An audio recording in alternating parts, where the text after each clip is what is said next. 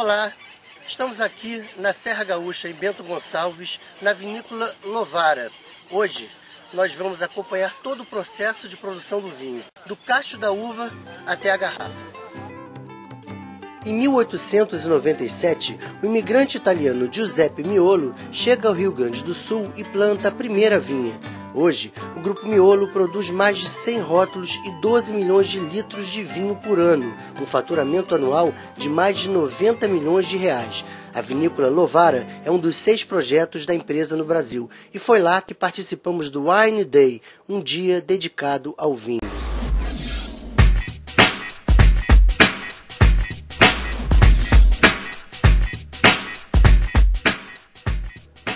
Começa no vinhedo, onde os visitantes recebem tesouras e participam da colheita. O processo deve ser manual, evitando as bagas danificadas e feito pela manhã, quando as uvas estão mais frescas. Essa aqui é a Cabernet Sauvignon, a rainha das uvas, uma das uvas mais famosas do universo do vinho.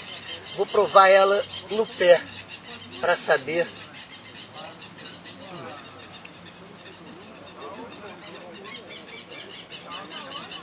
delícia. É incrível a gente pensar que todos os aromas do vinho, todos os sabores desenvolvidos pelo vinho na garrafa, tudo está dentro de cada uva. O próximo passo é na esteira de seleção, uma triagem antes de levar as uvas aos tanques de aço onde o vinho será produzido. Nas cubas, as partes sólidas e líquidas permanecem por cinco dias macerando em baixa temperatura. Em seguida, serão adicionadas as leveduras, que são os fungos responsáveis pela fermentação, a transformação do açúcar em álcool. O processo dura cerca de 15 dias. Aqui está o vinho bruto, o vinho saindo da prensa, turvo ainda, antes da filtragem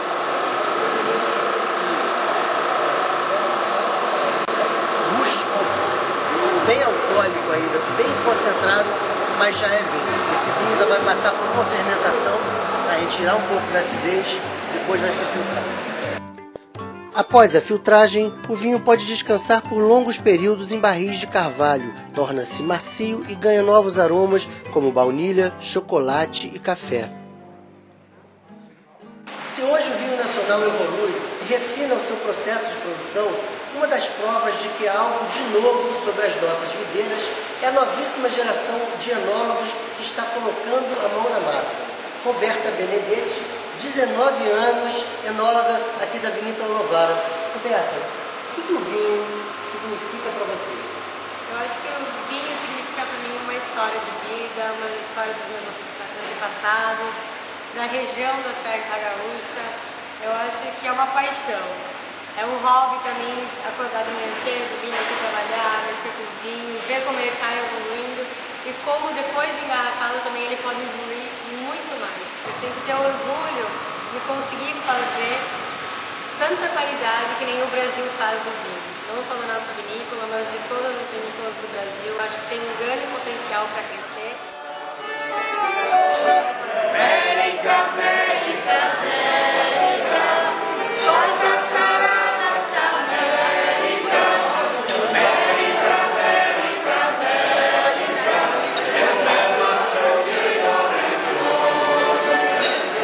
O enólogo Adriano Miolo está otimista com o momento atual do vinho no Brasil. Quer dizer, no vinhedo precisa três anos a cinco para começar a elaborar. E você vai elaborar esses vinhos mais dois, três anos. Quer dizer, no final, você, quando você começa a fazer um grande investimento, ele só vai chegar no mercado depois de 10 anos. Esse novo vinho brasileiro, ele está chegando no mercado agora. Então, o consumidor, agora, a gente espera que ele vai começar a descobrir o novo vinho terminamos a nossa jornada com o vinho na taça.